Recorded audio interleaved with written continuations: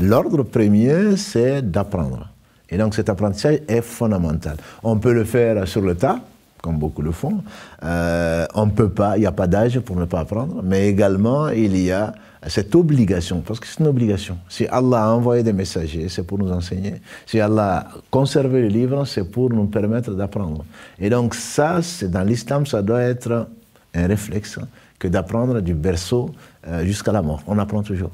Et on sait que si les savants qui, ont une place particulière dans l'islam, qui sont les seuls à craindre Allah, comme Allah dit, parmi ses serviteurs, seuls les savants, c'est-à-dire, savants, ça ne veut pas dire qu'on sort d'une université, etc., c'est ceux qui savent, donc qui ont appris, forcément. Donc la science, il a dit, Amanu wa c'est les, les gens de qui on pense beaucoup de bien, qui sont les savants, interprètent souvent dans le Coran, c'est qui croient, on traduit ça par ça, c'est qui croient, ils font les bonnes œuvres.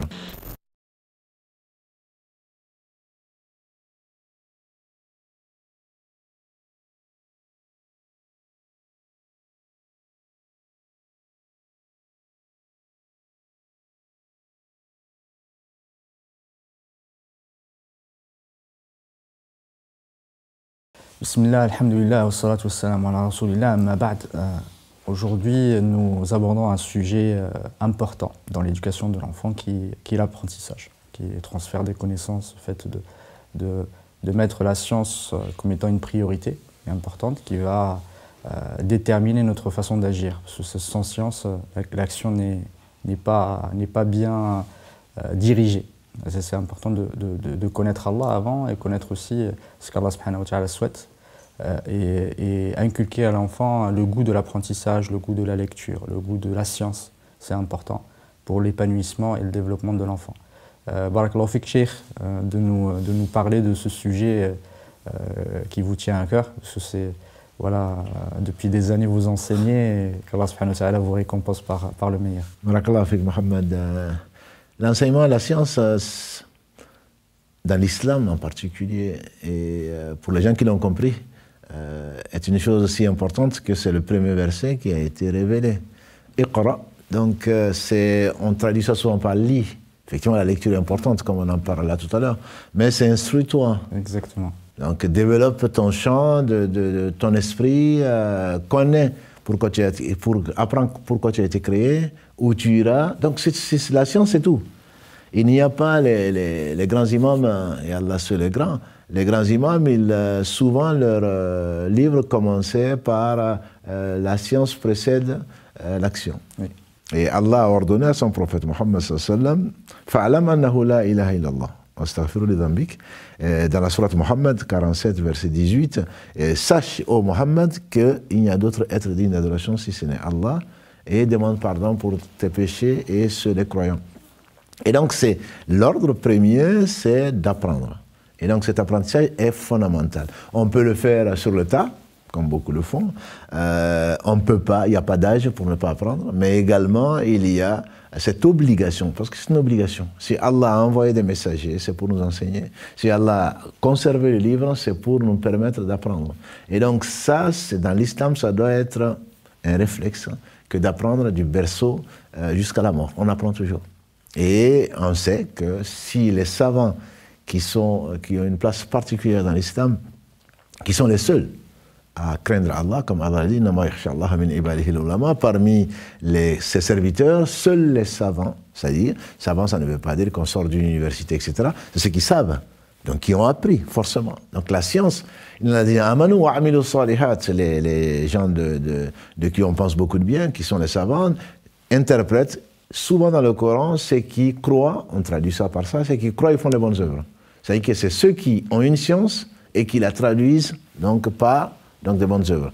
La science est fondamentale et les premiers musulmans euh, ont donné l'exemple. Ils étaient les premiers en sciences fondamentales, bien sûr dans la religion, en sciences fondamentales, euh, donc de tout point de vue. Et les savants d'antan, ils étaient euh, très doués dans tout ce qui est science.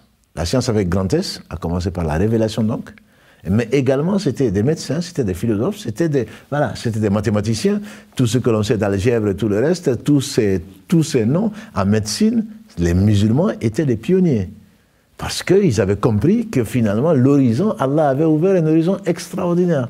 Alors que d'un bédouin qui ne connaissait que, le désert, là, ils sont devenus des conquérants, ils sont devenus des, pas des aventuriers dans le sens, euh, de, voilà, mais ils, ont, ils ont parcouru des, des, milliers de kilomètres, ne serait-ce que pour aller chercher, vérifier un seul dire du prophète donc ça a été une science merveilleuse qui, a, qui, qui nous a apporté, que Allah nous a apporté au travers de ces gens-là. Donc le musulman doit être avide de science. C'est-à-dire qu'il doit être un puits de science pour celui qui sait et transmettre.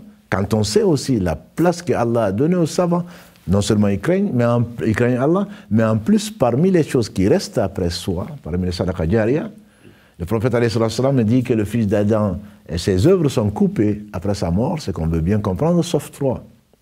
Il laisse un enfant, donc qui prie pour lui, un enfant pieux. Ce qui prouve donc déjà l'importance de l'éducation des enfants. Euh, et donc c'est un investissement, je dirais même c'est le meilleur investissement qu'on puisse faire. Après la mort de ses parents, il prie pour eux. Lui, tout ce qu'il fait, Allah le, découple et, le, donne l'équivalent à ses parents.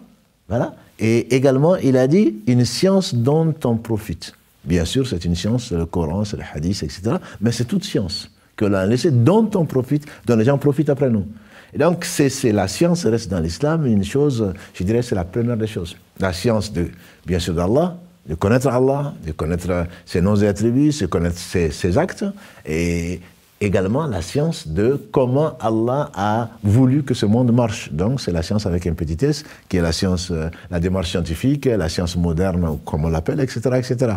Donc la science dans l'islam n'a pas d'équivalent. On commence par la science et des gens, quelle que soit la personne, euh, des savants comme Ibn Baz, fasse Miséricorde, qui ont été éprouvés euh, par la cécité, étaient, faisaient partie des plus grands savants. Et donc ce n'est pas parce que moi je ne sais pas, non, moi je suis un alphabète. Un musulman doit avoir honte de dire ça. Un alphabète, le prophète ne savait ni lire ni écrire. Et pourtant c'était le plus grand savant. Exactement. Voilà. Donc il ne faut pas, il n'y a pas d'excuse pour ne pas apprendre. Pour ne pas apprendre, il n'y a pas d'excuse. Allah ne va pas demander pourquoi tu, tu n'as pas eu tel diplôme. Allah va dire pourquoi tu n'as pas appris. Que tu retiennes ou pas, ça ne dépend que de lui. Mais au moins, tu as cette démarche qui est positive, qui est cette, cette euh, curiosité intellectuelle et avec la démarche parce qu'Allah aime la science. Et donc c'est Allah qui l'enseigne et on se doit absolument d'apprendre et à commencer bien sûr par sa parole. Et ça c'est quelque chose de très très important. Il y a des surdoués. Euh, on, parle, on, parle donc des, on parle des gens et des autres. L'imam Machaf, et fasse miséricorde, on dit qu'il a appris tout le Coran à 7 ans. Ah oui. Disait que des fois, il, posait sa main sur la page, la page de gauche pour pas apprendre à avancer la droite. Exactement, mais bon, Allah ne va pas nous juger pour dire pourquoi à 7 ans, euh, nous, on n'a pas pris le Coran. Certains à 60 ans, 70 ans, ils meurent sans, sans connaître plus euh, plus qu'une page. Je me rappelle de ce vieux euh, Ali qui était le, le muezzin. Il était, je, je, le vois encore, qu'Allah lui fasse miséricorde, et je le vois encore en train de lire la Fatiha, et avec des fautes. Il avait 70, 70 ans passés. Donc le, plus important, c'est d'essayer. Voilà, c'est d'essayer. Et il avait une mémoire qui était déficiente. Euh, il avait des problèmes, mais néanmoins, je le vois encore dans la mosquée en train de lire en attendant l'appel à la prière. Il les lisait, il lisait, il, essayait, il essayait. Comme l'exemple qui est donné de, euh, de celui qui euh, va à la mosquée, qui est un enfant et finalement qui ne retient pas grand-chose. Et après, l'enseignant, on dit que l'enseignant lui, a donné un seau, va euh, puiser de l'eau avec, un seau euh, avec un seau qui est troué. Il va, il va prendre le seau, il va prendre de, l'eau, et avant d'arriver, bien sûr, il n'y a pas d'eau. Et l'enseignant le renvoie. Et il fait ça plusieurs fois. Et il dit, mais à quoi ça sert? Il dit, euh, regarde, est-ce que le seau n'est pas plus propre? Il n'y a pas d'eau, certainement, tu n'as rien reçu. La compagnie des gens. Le fait, Allah pardonne, les anges couvrent les, les, assemblées de sciences. Pourtant, tu n'as pas, pas appris grand-chose. Et les anges, ils remontent vers leur Seigneur. D'où vous venez, on vient de la terre, bien qu'Allah le sache avant de les avoir créés. Et on a rencontré telle personne, des gens spécialisés pour, pour couvrir de, la miséricorde divine les gens qui apprennent la science pour Allah. Et ils vont dire il y avait un tel, un tel donc, qui était à leur compagnie. Et, mais il était venu pour une autre affaire. Combien de gens sont venus pour une autre affaire finalement Ils sont restés. Ils ont appris une chose. Notamment les enfants, ils jouent, etc. Mais quelque part, ils entendent et ils retiennent. On est venu pour visiter quelqu'un, finalement, on repart avec autre chose. Au moins, on a appris un, hadith, on a appris un verset.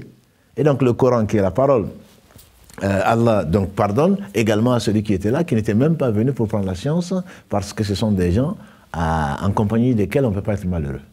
Donc, cette euh, science, si on connaissait le Coran, euh, ce n'est pas parce qu'on est analphabète comme la majorité de la communauté aujourd'hui, en tout cas euh, musulmane, euh, qu'on ne doit pas apprendre.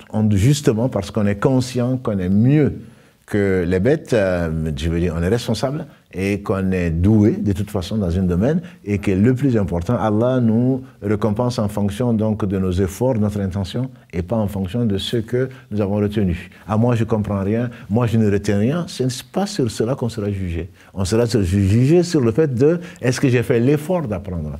Est-ce que j'ai insisté? Est-ce que j'ai eu une résolution d'apprendre?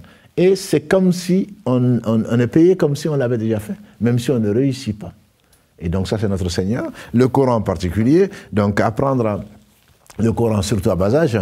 On a parlé de l'imam Shafi'i qui fasse miséricorde, il y a d'autres imams. Hein. Euh, l'imam bin Taymiyyah, euh, An-Nawawi, on dit qu'à 10 ans, ils avaient déjà appris le Coran. Et il faut l'enseigner, il faut le comprendre un peu plus tard, et on dit que l'imam Abu Hanifa, quand il fasse miséricorde, euh, son, enseignant, euh, quand il a appris la Fatiha ou, ou des sourates courtes, l'enseignant, son père est venu offrir euh, un trésor. Je ne sais pas combien de, de, milliers. Voilà, donc pourquoi? Parce qu'il lui a enseigné une sourate du Coran. Et les gens qui apprennent le Coran, bien sûr, ce sont les gens qui sont les le cercle que Allah a particulièrement choisi et aimé. Yani, comme euh, le professeur le, dit, le, le disait, yani, Ahlul Quran, Ahlullah wa Les gens du Coran, les gens qui apprennent le Coran, euh, c'est le cercle fermé que Allah subhanahu wa ta'ala a voulu réserver à lui-même. Et donc, chaque lettre du Coran rapporte dix bonnes actions. Et comme il le précisait, quand je parle d'une lettre, je ne dis pas qu'Alif, Lam, Mim est une lettre. Alif est une lettre, Lam est une lettre, Mim est une lettre. Donc dix bonnes actions pour cela. La Fatiha, qui a combien de versets, qui a combien de lettres, combien ça rapporte? Ahad, le fait de le lire, ça rapporte l'équivalent du tiers du Coran comme mérite, etc., etc. Et donc, les parents seront étonnés, les parents des gens qui ont appris le Coran seront honorés, euh, illuminés au jour du jugement dernier, mais ils disent, mais d'où cela nous vient-il? Et cela vient du fait donc, que vous avez eu des enfants qui ont appris le Coran. Donc le Coran, c'est la vérité même, c'est la parole d'Allah, incréée. Et donc, quand euh, on ne d'accorde pas de l'importance au Coran, certainement c'est qu'on n'apporte pas de l'importance à la religion et donc à celui à qui ça appartient, la religion, c'est-à-dire Allah. Le Coran, c'est vraiment le centre de la vie d'un musulman, quel qu'il soit. Peu importe, je veux dire, les difficultés ou les capacités à retenir, mais il faut le lire. Le Coran a été révélé pour sauver l'humanité, pour nous faire sortir des ténèbres vers la lumière, ce qui oblige à le lire, pas seulement pendant le ramadan, malheureusement, pas à l'écouter pour, euh, euh, parce que c'est le ramadan, on doit le comprendre. On doit le comprendre, on doit le vivre, puisqu'il a été révélé pour ça à côté du Coran, on a vu que le professeur sallam est venu pour nous enseigner, et donc par conséquent, tout ce qu'il euh, euh, nous a enseigné ne venait pas de lui-même, ça vient d'Allah subhanahu wa ta'ala. Allah dit qu'il ne parlait pas sous l'effet de, la, passion, ce n'est qu'une révélation révélée.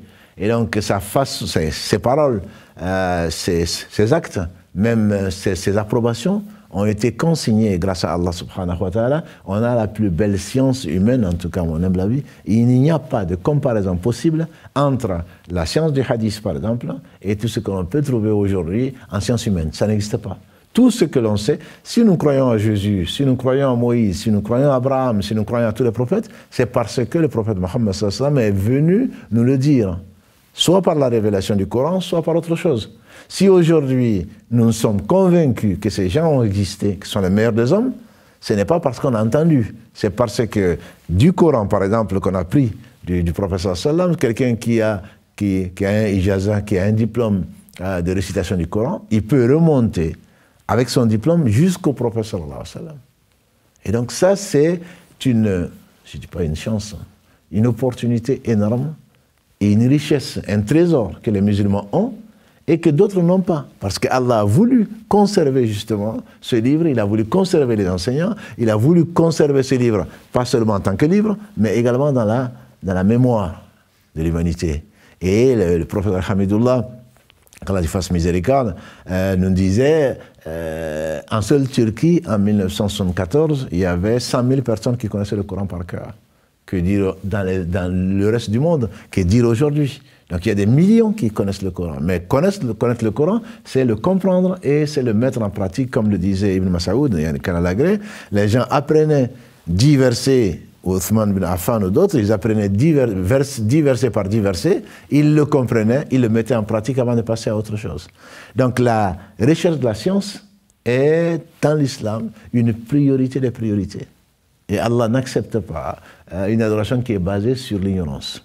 Donc la communauté se doit de se réveiller.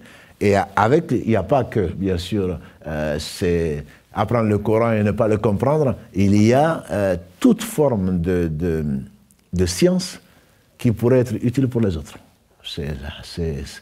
Si on ne connaît pas de, de comment est-ce qu'on va creuser des puits, comment est-ce qu'on va arroser, comment on va faire ceci? Donc la médecine et tout le reste, on disait au début de cet épisode que les musulmans excellaient dans tous les domaines dans tous les domaines. Et ce n'est pas parce que aujourd'hui, euh, un imam, on vient lui donner 10 euh, euros pour faire des invocations ou pour faire un mariage.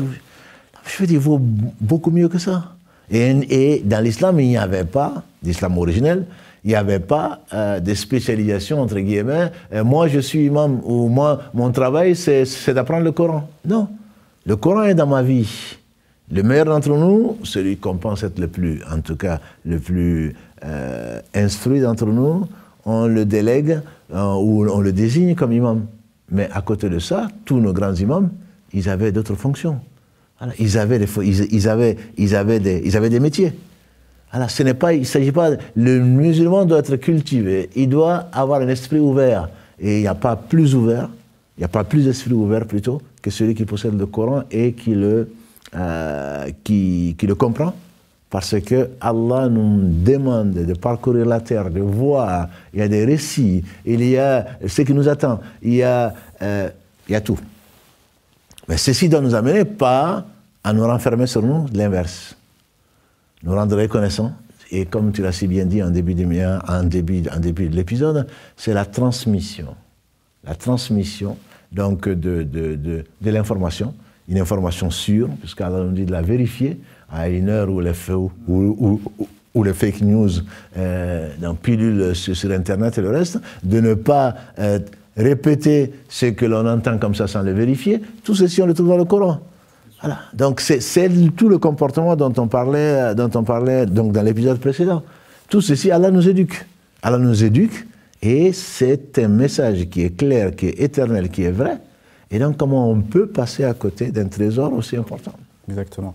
Euh, j'en profite euh, justement pour vous poser une question. Euh, d'un poser une question pardon d'un élève de, de l'IPA. Salam alaikum. Moi qui aime bien lire, je voudrais savoir quelle lecture pouvez-vous me conseiller? Dès à présent, les lectures, je pense qu'on ne l'en fait pas assez, surtout à l'ère euh, d'Internet, etc. Euh, même s'il y a des e-books, etc. Mais généralement, euh, on préfère écouter des chansons, écouter, des, occuper son temps ou le perdre plutôt. donc les lectures, c'est avant tout, moi ce que je te conseille, c'est de t'imposer une régularité, même en lisant. Des, choisis ton livre choisis ce qui, dans le domaine qui te, qui te plaît, mais lis. Quel que soit le livre. Nous, on a tendance à lire ce qui est islamique. Mais tout est islamique, sauf ce qui n'est pas. Et donc, sur la vie, si tu t'ennuies au lieu de regarder euh, les films, euh, je ne sais quoi d'autre, va sur Arte ou vois la vie euh, sur la nature, sur les animaux, etc. ça, tu comprendras la beauté de la nature, de la beauté de celui qui l'a créé, tu comprendras comment il n'y a pas de hasard, tu comprendras que Allah a tout créé en couple, tu comprendras qu'il y a un équilibre, même dans la nature, entre, entre tout ce qui mange l'autre, etc. Donc, tout, absolument, entre les saisons.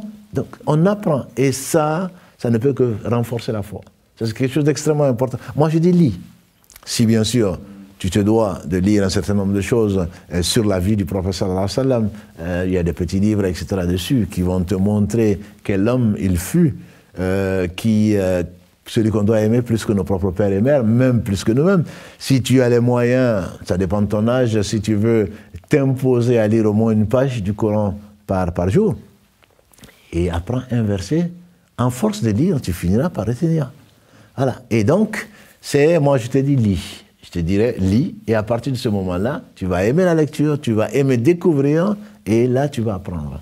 Mais si tu ne fais que consommer et répéter ce que les autres disent, tu n'es pas capable de, prendre toi-même la science et encore moins d'en tirer des leçons, certainement tu vas être un suiveur, un consommateur, comme il y en a beaucoup. Euh, pour nous avoir rappelé l'importance de l'apprentissage, la transmission de, savoir et, euh, euh, le rôle important de, la science dans notre religion.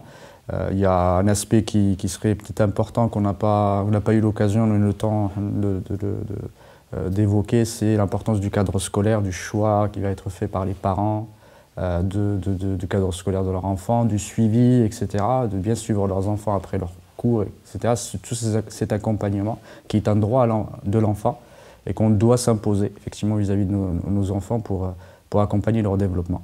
Euh, pour, pour ces éclaircissements. Et le cours euh, suivant, Ta'ala, on va parler de tous les aspects importants pour construire l'enfant, sa personnalité, mais via la santé, via l'activité, etc., faire quelqu'un d'actif et, le préserver, préserver sa santé qui est, un, devoir. Et ça, c'est des choses qui vont être inhérentes à la consommation, et, euh, vis-à-vis de l'enfant et tout ce qu'on peut lui enseigner comme règle euh, à, ce propos. En tout cas, barakallahu fik wa jazakallahu khairan wa assalamu alaikum wa rahmatullahi wa barakatuh.